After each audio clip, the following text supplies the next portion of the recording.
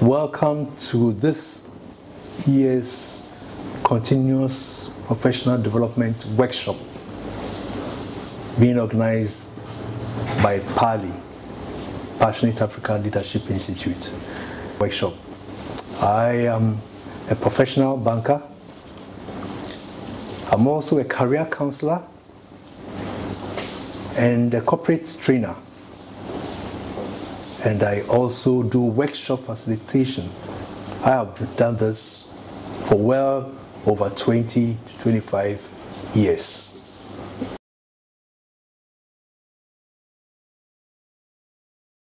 Then we are now going into formats, the various application formats for reflective practice.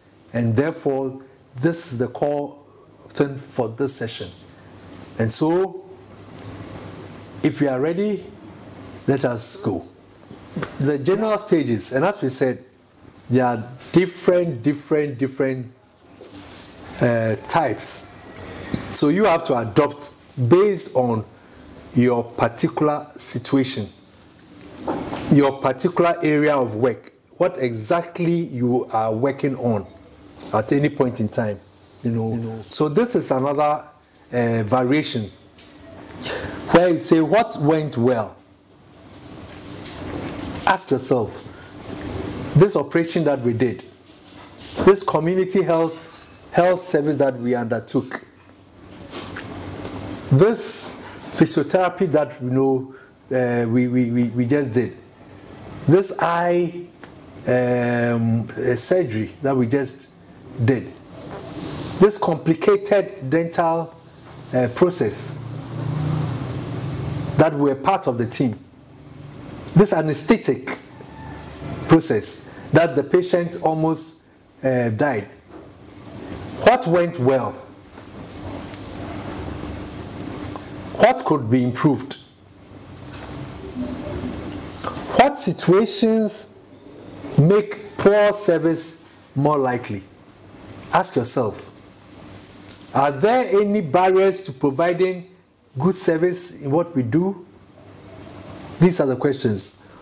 What support do I need to overcome those barriers? And at the end, how does all this improve my practice?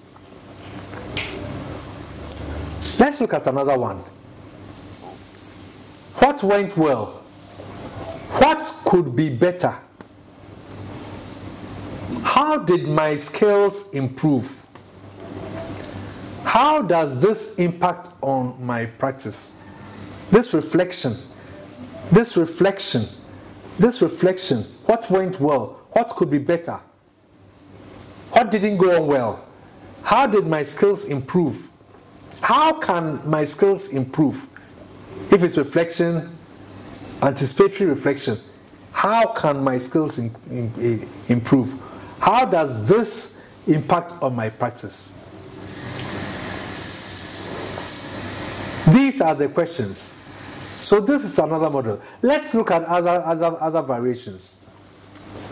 So there's a popular one which is called Gibbs reflective cycle. So if you are ready, let's look at a specific, you know, reflective cycle or practice. So Gibbs reflective cycle is a process for guiding reflective practice and it has a number of distinct steps a, a certain order. So what are these? The first one, description.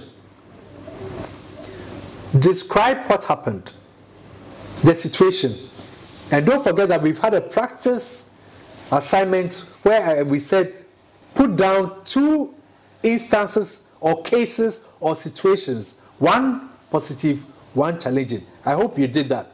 So that is there.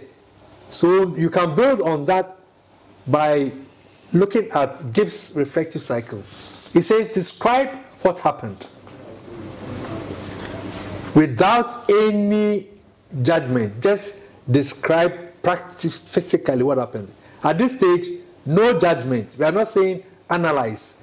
You know, you can ask yourself, where you where was I? Where you where was I? Who else was present? So we are just describing what was there. I was at the at the at the operation table, you know, with a, a team made up of a doctor, anesthetic, and then what happened? The patient started losing blood. So just a description of what happened is number one. Then you can move on according to Gibbs' model. You can move on to the feelings. How did you feel? And this one, when you say how did you feel, don't forget it means you are doing it from the from the lens of yourself. If you are doing it from the lens of the patient, in this same thing, you'll be asking, how did the patient feel? How did my organization feel? How did my team feel? From different lenses. So you have to be very clear which lens you are documenting your reflective practice at that moment. So this one is from self. How did I feel? Describe how you felt. What was I thinking? Now, how am I feeling now? Again, just describe the feelings. No analysis, no judgment. Don't say, I was feeling sad because of that. Just state, I was feeling sad. I was feeling happy. So, your description of the, of the situation, description of the incident, then the feeling. Then you can now move on to the analysis or what we call evaluation. So, according to Gibbs, describe the, then your feelings and then evaluation. Evaluate everything at that stage. You know, think, analyze, you know, why did it happen? What happened? Everything that happened. Ask yourself, what went well? What went badly? And why? evaluate at that point. So, description, feeling, evaluation. Okay, all right, so this is Gibbs' reflective cycle description, feelings, evaluations. We'll look at analysis after that, conclusion, and then action plan. So, we'll come back to this. So, let's continue, you know, so we have analysis. After the evaluation, then you now analyze the situation. Try to make sense of everything that happened. You know, what was the reason? You can ask yourself, why did, did the things go that way? Why did they go well? Why didn't they go well?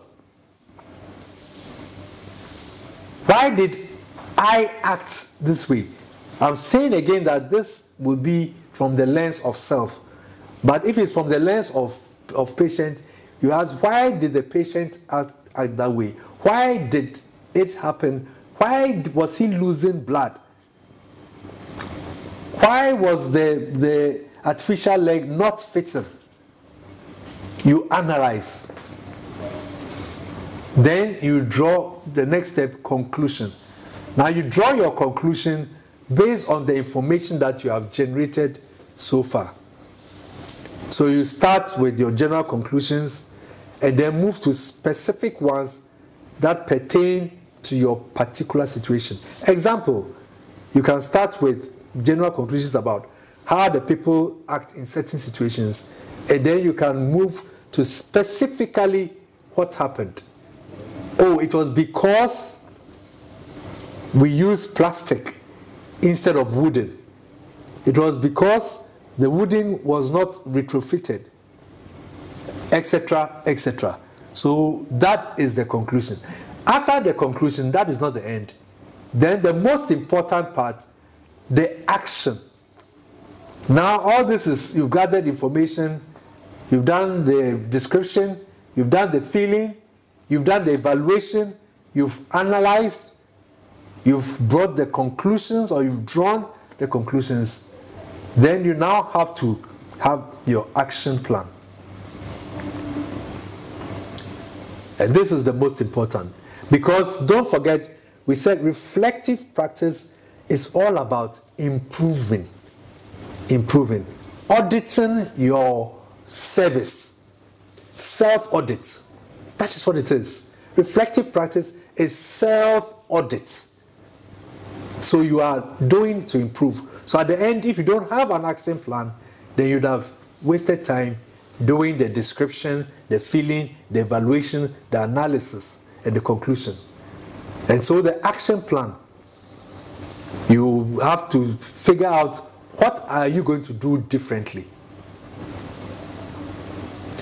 And even if things went went well, and you answer that even though it went well, it could have been done faster.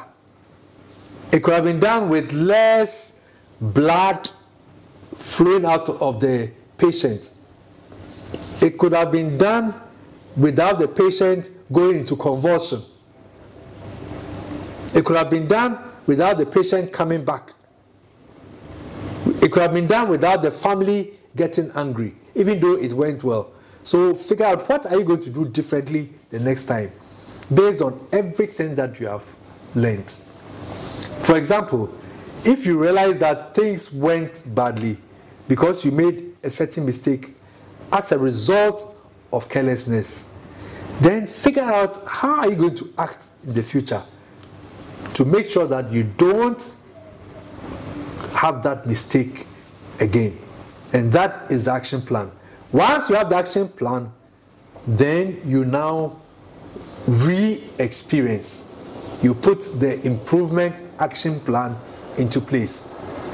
And this reflective practice is more, it should become like an ongoing attribute. It should become a daily routine for you. And you will see the magnificent benefits that it will bring to you. Then we have using self distancing to help reflection.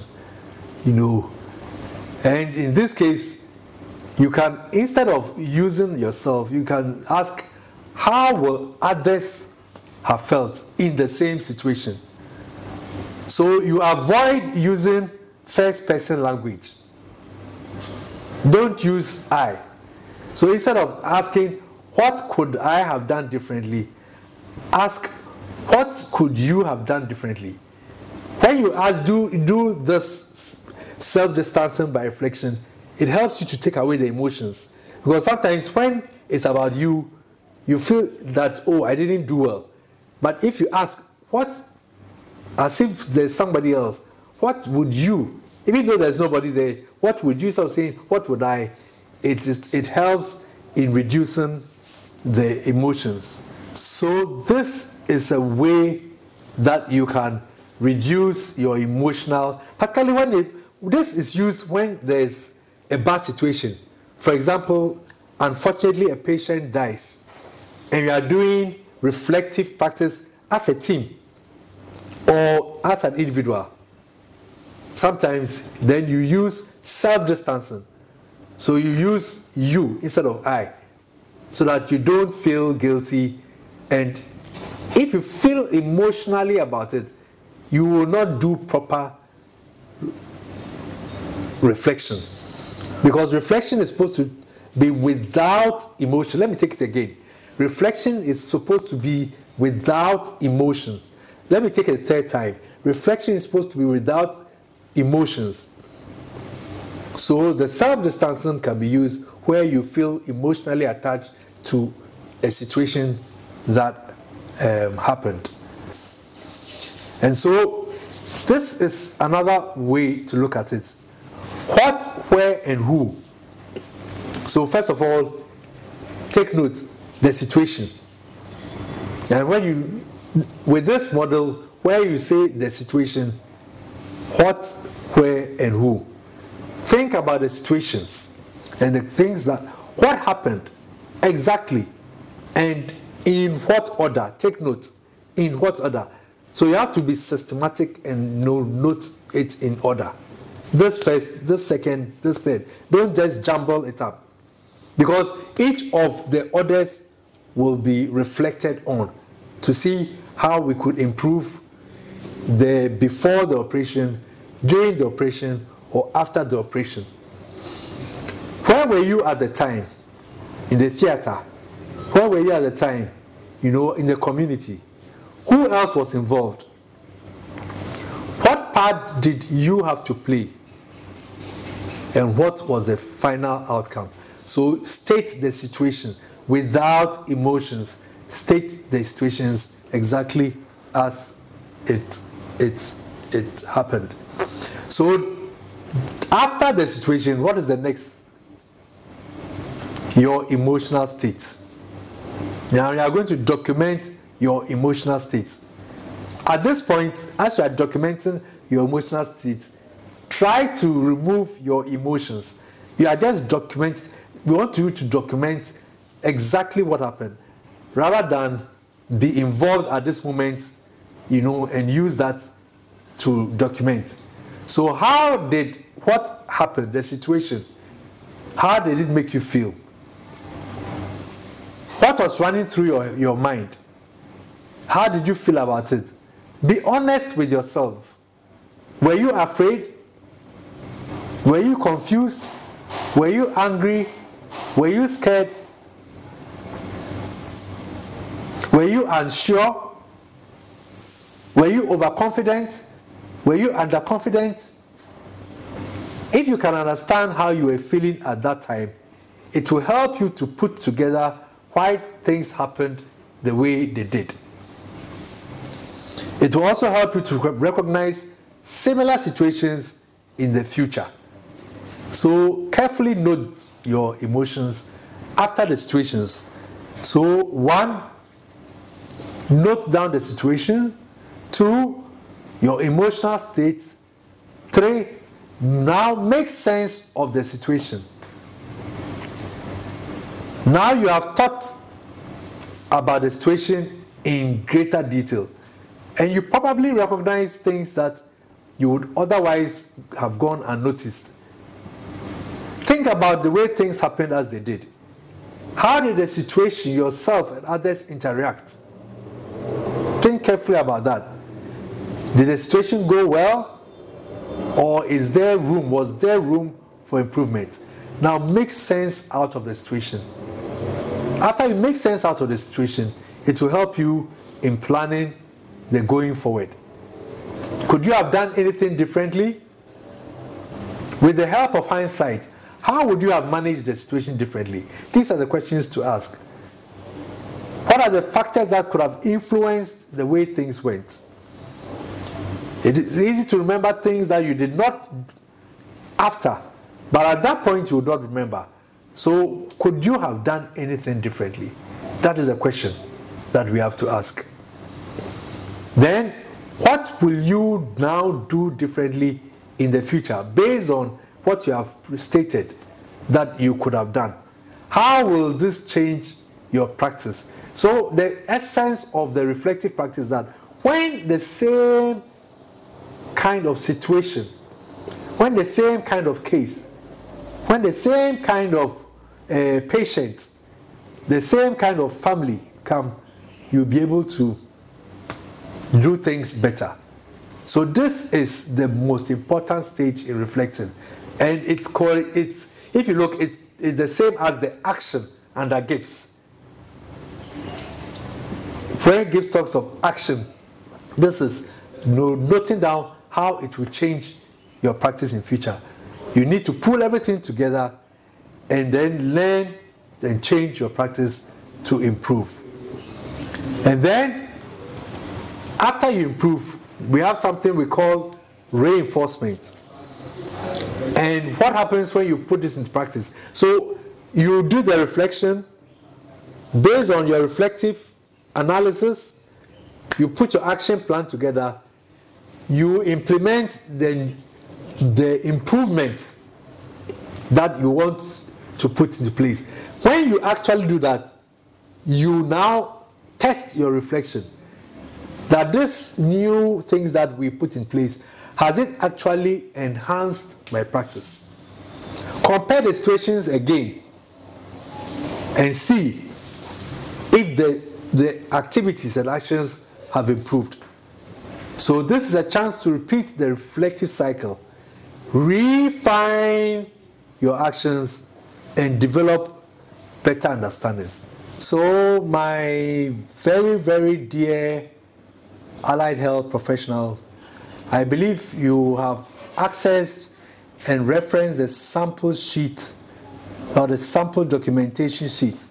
We are going to look at it uh, together. So if you have not, and you see that, so now we are moving into the, the, the, the practicals. All the models that we have talked about, Gibbs, after Gibbs, all the various other models, they are there for you. And there is no one way. Decide which one is best for you and then apply it. So we are going to briefly look at two templates, you know, um, and so right in front of you, if you have clicked, you know, uh, we are repeating here at the top reflective practice template one that there is no right or wrong way to reflect on your practice. Different people learn in different ways. And while one person may learn by reflecting on a positive outcome, another may find it more useful to focus on a situation that they found challenging. So look below. We have provided some prompts. This is only to help you as a template or task templates to add value to your own reflection. The reflections are yours. The reflections are to improve your professional ability as an allied health professional. And if you want to do the reflections as a team, then it's for the team. So the value addition is yours. And so relax and take your time and decide which of the templates you want to use. All right. So uh, when you look here, the first one says, What event or topic are you reflecting on? So you can do a chat like just like this, you know. So give a brief description. You don't need to give all the details, but rather focus on the event itself. If you recall, just state exactly. At that point, no emotions. You know, when you too broad a focus may make it difficult to give the topic the attention it needs. So remember to keep things confidential. In the next session or tomorrow, we'll look at ethics decision making. But here we are saying that all these things should be confidential because you are noting things that happen in the presence of patients. And so privacy is important, you know. So what event or topic are you reflecting on? Then after that, you go to would you call this a positive or a challenging event? You see what we're talking about then? What feelings would you use to describe the event? Was were you scared? Were you afraid? Were you confident? Were you unsure? Even when things go right, they can still be challenging. So the fact that the operation was successful does not mean that it was a positive. Perhaps there were challenging parts before the end. Think about the outcomes of this event and whether you feel they could have been improved. After that, the next one says, What happened? Give a brief description of the event. How do you respond? How did your team respond? How did you feel during the event? What did you feel after. So what happened? Then the next one is looking back. So now, after you've documented all that, you had, you've done the anal- analysis. Analysis means what did you feel and so on and so forth. What could have been done better? You know, then looking back, are you satisfied with how you responded Are you satisfied with how things went? If not, document why not. Do you think you work effectively with your team? If not, what would help you to work better as a team member and as a team collective in the future? Did you have all the support you needed? If not, why not? What happened? Was it logistical support that didn't come at the right time? There was no gas? Is that what caused the, the, the, the problem? There was no oxygen? The needles got broken? So it did all get all the support. If it is in a group, was the group satisfied with how it responded? And so on and so forth. So after you look back at the event, then what we always said, the action. Remember under Gibbs, action, the way forward, which is the most important because that is what you are going to activate to improve your work. So now looking forward, ask yourself, if there is a similar event in the future, would you do anything differently? What did you learn from this experience and your reflection on it? How will this learning improve your practice? How will this learning be used to the benefit of service users, particularly patients, their family? Are there any lessons to be learned by your team? The things you learned after this event help you to achieve, so now you are going forward into action.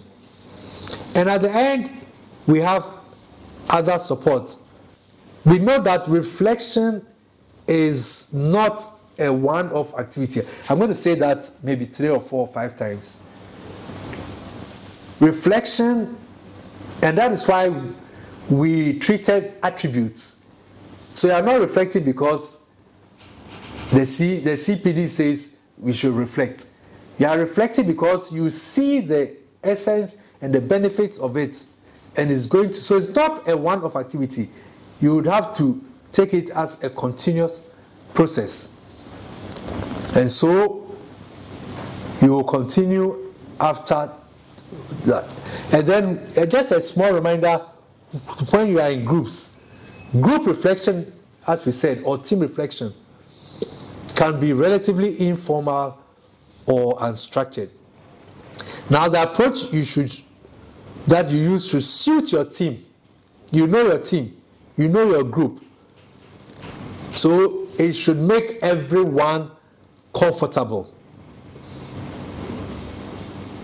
Not everyone in every team is comfortable with frank discussions. So you should know your team.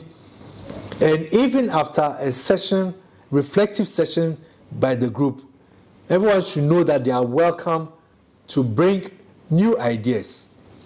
And finally, it's important to think about the, the leadership of the group, the power dynamics, and try to manage them. So, this is a template number one that now we have given you a structure that you can actually use. But by all means, go back on the slides and look at Gibbs, look at all the others, and you can also design your own template. You can also design templates for particular situations. Listen carefully. You can design templates for particular situations. Templates for situation where there's an operation, templates for a situation where you are only meeting uh, clients, templates for where you have a case uh, case uh, uh study, etc. So that is that. Now there's a, a simpler or a second template, which would seem relatively simple. And that is just talking about the, the, the, the famous five W's and H and so what. Five W's and H and so what. That is what it is called the five W's and H and so what. So in this relatively simpler uh, template, number two, you just take when. you state when and the date and the time, you know, where in the theater, where in the community, where in the doctor's room, where in the client's house, where at the okay, so and then you ask what. So now you describe what happened. How did it happen? How did it happen? Who were involved? Why? Why did it happen? So when you have all these, the when, the where, the what, the how, the who, and the why, and then you now the and so what is then the action plan, and therefore we are going to do this differently. We are going to do this differently. We are going to do this differently next time, and so that is two reflective templates which we would want you to use as you do your um, your, your your next assignment. So now you have all the various things, all the various methods and approaches, and now you have two templates that you will be required to use. Good. So we have so much material now, and I can sense that you are, or we all are becoming reflective practitioners. I can sense that we are all going to look at the attributes. I can sense that we are all going to decide to use the various models, the various kinds of ways to do reflective practice. And just before this, we now have given ourselves at least two templates that you can actually use to document. And so, if all that we have done in the past um, has been taken into our minds and our hearts, then we then will be ready for our practice assignment three. So, with this practice assignment three, what we are saying is that use any of the models discussed. And we've discussed so many Gibbs and others, you know, you, and you, you can always go back, go back, go back, you know, and use any of the models discussed to document. So now we want you to enter into the practice to document a reflection process. Take note of this. Not just any reflection process, but a reflection process for yourself. So we are taking from the lens of self. Remember the lenses the lenses of the patient, the lens of self, lens of the family, lens of the of your institution. So use the lens of self.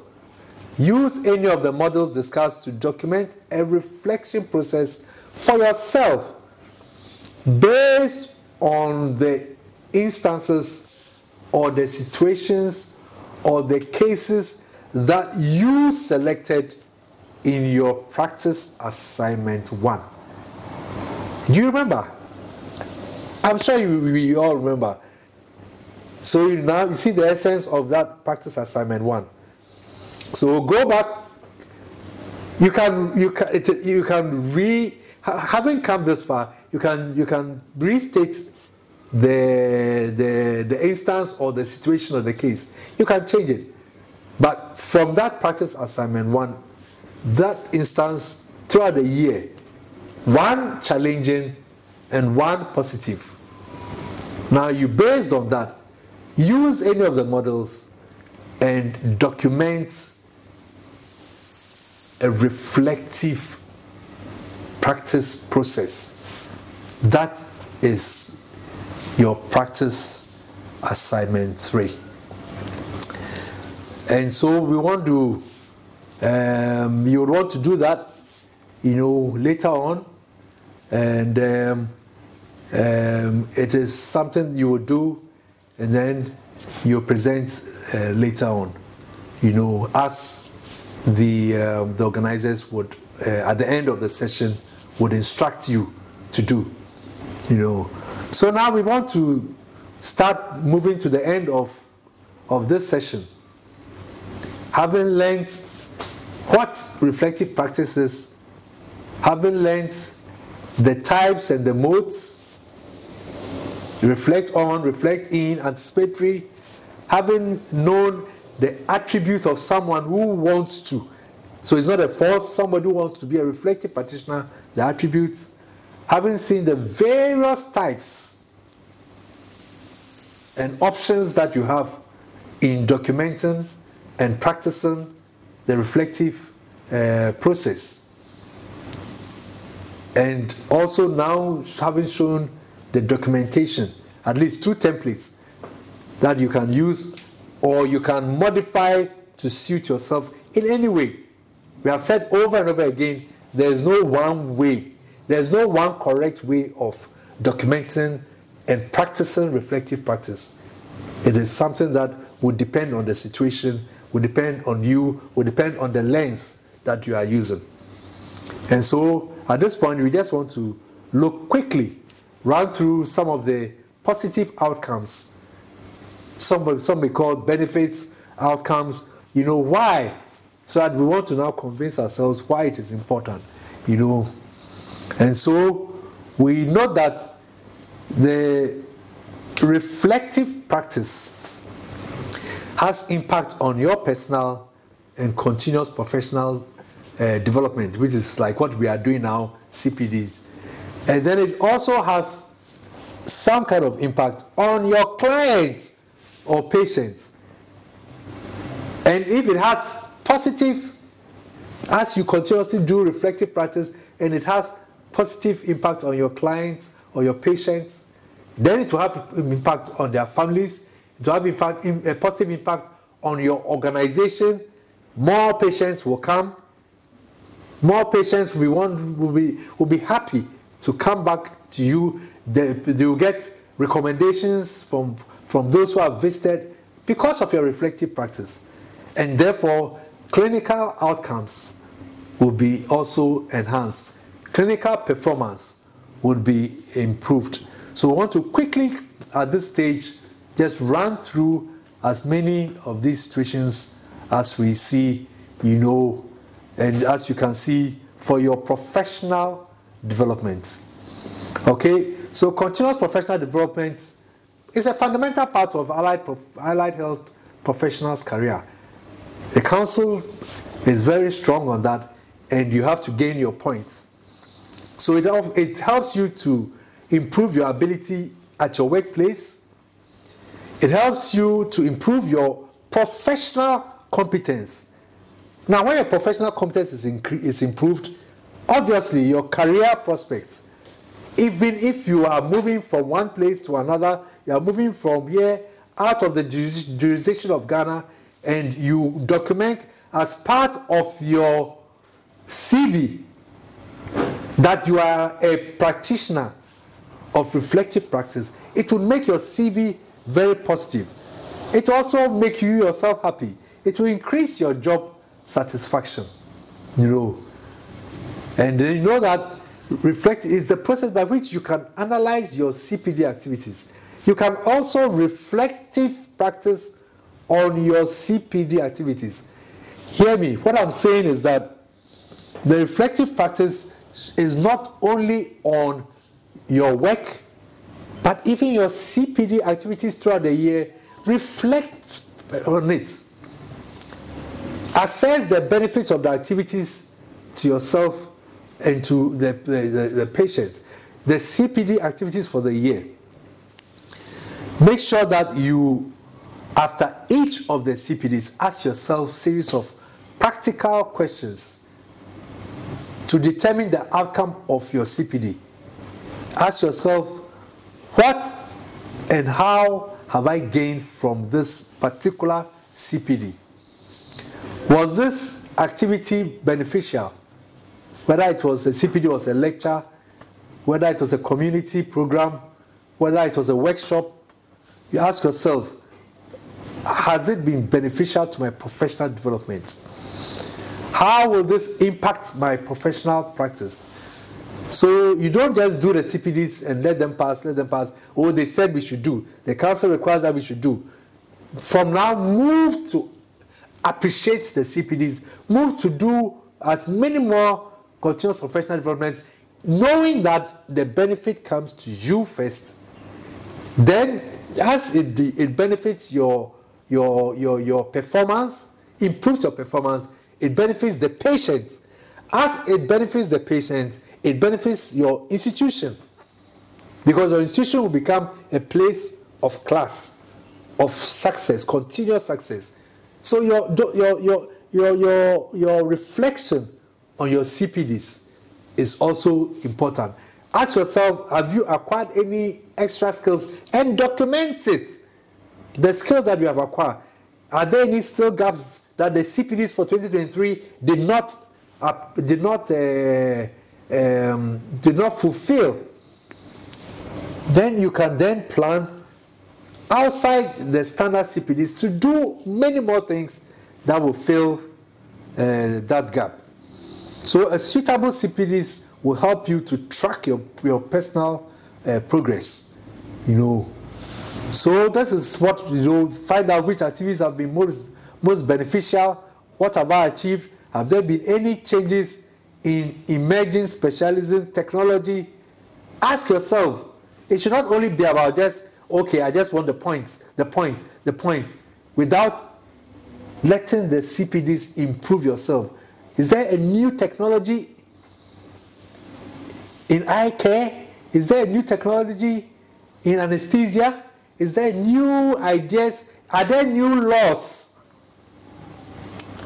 All these things are integrated part of your CPDs, not just, as it were, looking for the points. I'm stressing that carefully, and therefore, reflective practice is to help you that from now onwards be very interested in a lot of CPDs. Okay? And so on and so forth. What activities do I need to undertake within 2024, the next 12 months? Write down any ideas, feelings, and observations, and how effective, and preferably not as a year end task. And so, this is a picture that I want you to reflect upon. Deep reflection. This is the position.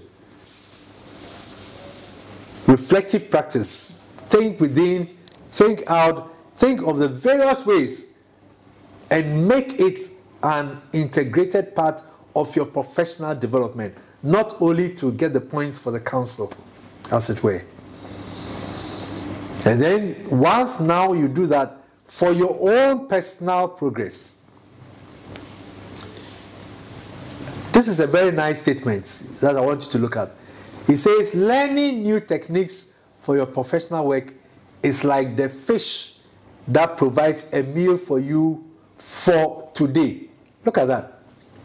Learning new techniques for your professional work is like the fish that provides a meal for you today.